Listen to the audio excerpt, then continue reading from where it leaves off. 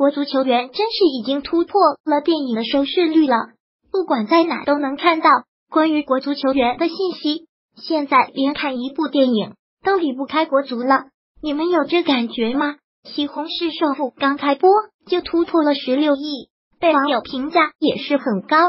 但是有网友就看出了里面存在侮辱国足的意思。一起来看下电影里的情节，能看到球员穿的衣服是广州恒泰，但是貌似国足球队里面有个广州恒大吧？是不是真的和国足能挂上边呢？不光球衣是广州恒泰，更关键的守门员竟是一条狗。还说这个守门员可准了呢。有一回，达达和爸爸在草地上玩，说这狗的能力能甩国足几条街远呢。国足再次被侮辱。看过这部电影的网友直呼真过瘾。